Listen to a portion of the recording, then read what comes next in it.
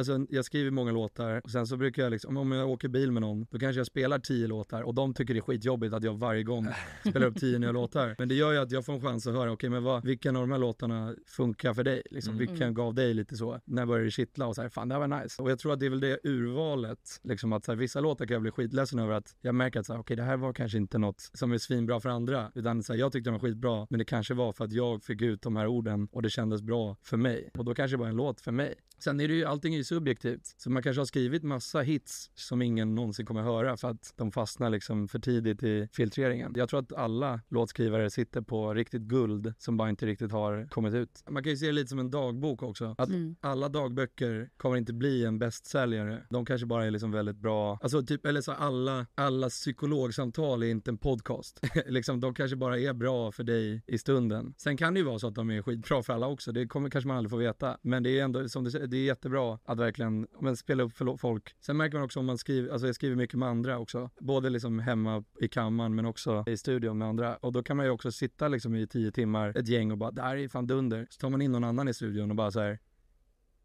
och den fattar ingenting. Det är så här, låten inte ens, de fattar inte ens vad låten handlar om. För de har inte varit med i processen och hört alla ord som inte kom med som förklarar. Jag skulle säga att det är liksom nästan avgörande att man har folk utifrån som hjälper till. För att man blir, man, det är lätt att man får tunnelseende och bara liksom, ja, man hör det man vill höra och man liksom, man övertolkar saker för man vet själv hur det ska tolkas.